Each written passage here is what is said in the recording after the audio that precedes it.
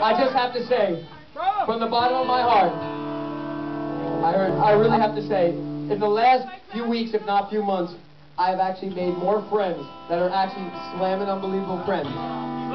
Because of Keith and the girl. I really.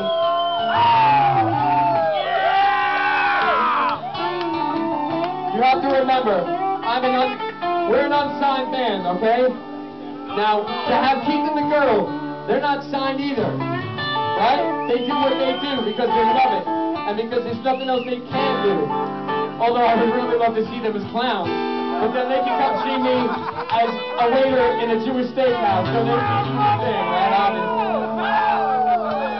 But that's the point, is that we're banding together to do something great. And it's because of you guys that make it happen. And I know from my heart, thank you so much. I appreciate it. Thank you. There's a song that's out there.